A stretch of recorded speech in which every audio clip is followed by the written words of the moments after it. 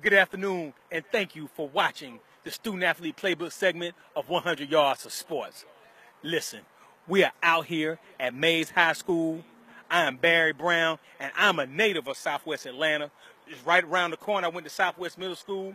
If I would have stayed in the city, I probably would have went to Mays.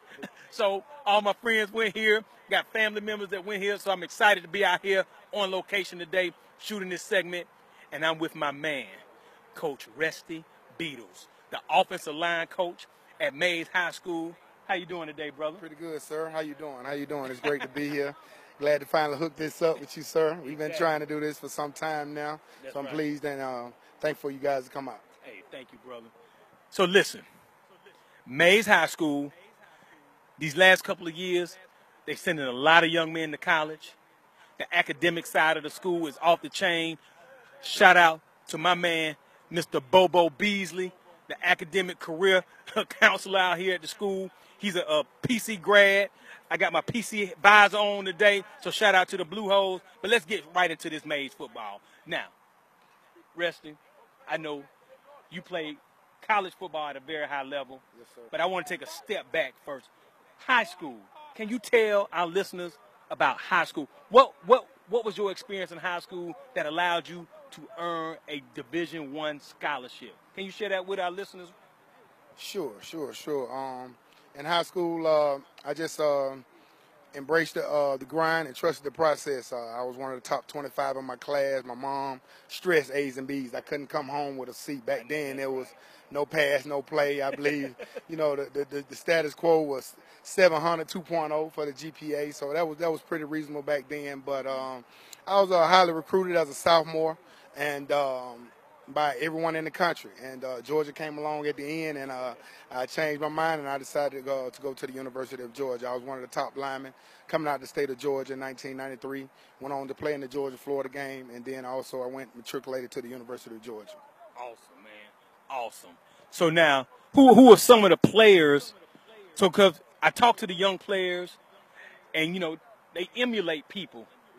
And I know you played with some big time players at the Right, University right, of Georgia right, right, right. that some of these kids know, some of them don't know. Uh, one of my best friends played at the University of Georgia, Andre Hastings. Right. Uh, we're, we're a little bit older than y'all. Not not that Yeah. much, but a little yeah, bit. They don't know who Andre Hastings is. Yeah, You right. gotta- You got to come with somebody right. current. So, exactly. So tell me some of the players that played in your class and, and played while you were at Georgia. Some of the players in my class were uh, that, that stood out: uh, Warren Daniels, Corey Johnson, Corey Allen, Hines Ward, Robert Edwards, uh, Mike Bobo, um, Jason Ferguson, Jermaine Smith. You know, Oh, those are some of the guys that uh, went on and did well. They were great standouts at, at the University of Georgia, and they went on to play well in the NFL. Awesome, man. So now, playing with all those players, now I, I met you while you've been coaching. Right. What are some of the things from high school to college that now, as the offensive line coach here at Mays High School, that you pour into your linemen to help them get better and help them accomplish their goals? Well, uh, as you know, I train offensive linemen, and what we do is we just we stress skill set. It's almost like I'm the tutor for offensive linemen. You know, you have tutors for social studies and math when kids are struggling or they need to perform, you know, on assessments or whatever. Well, I, I stress that when it comes down to the offensive lineman, coordinating the feet and the hands, being a dominant player at the point of attack, Yeah. you know, uh, being able to sustain blocks, uh, being an avid and a, and a- and a violent pass blocker because you know the game has changed. So from just three yards in a cloud of dust and running the ball to more people are you know in the pistol or the power set, you know, out of the gun. So I stress skill set. You know. Being able to bend, you know, that's what the That's guys right. are looking for. Looking for the violent hands, the long arms, the quick feet, the lineman that being able to run. So uh, that's what I do. I, I just stress the skill set when it comes down to the offensive line. Awesome. Awesome. Offensive linemen, parents, little league coaches, did y'all hear that? Skill set.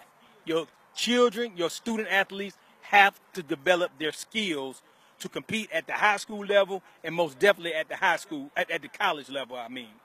So now, Resty. Now, we know the athletic part. We out here on the field, we're watching the young men work out. Right.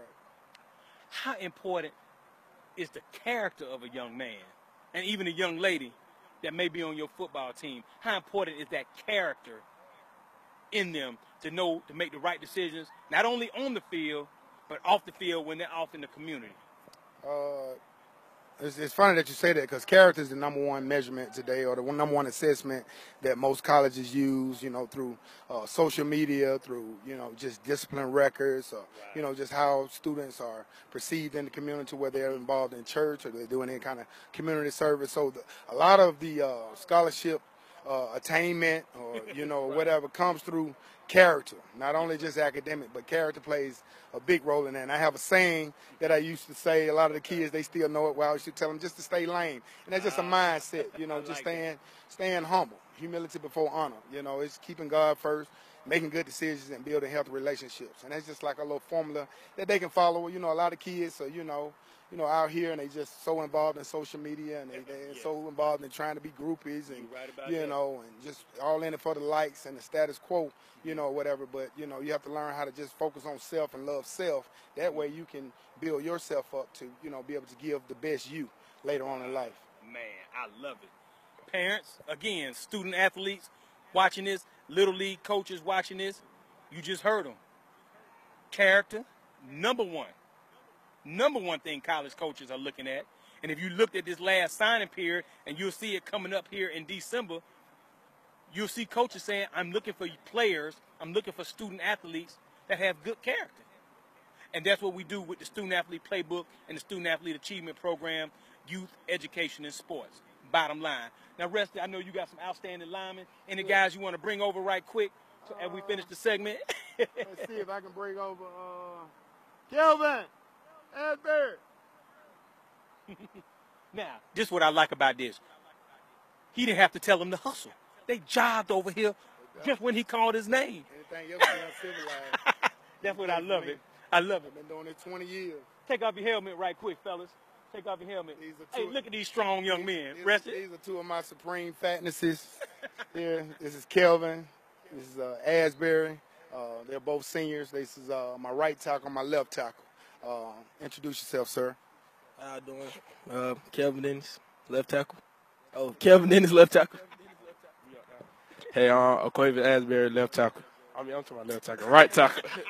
so now, gentlemen, real quick, I know y'all got to get back to practice. What's the most exciting thing that y'all like about playing for Mays High School? What's the most exciting thing?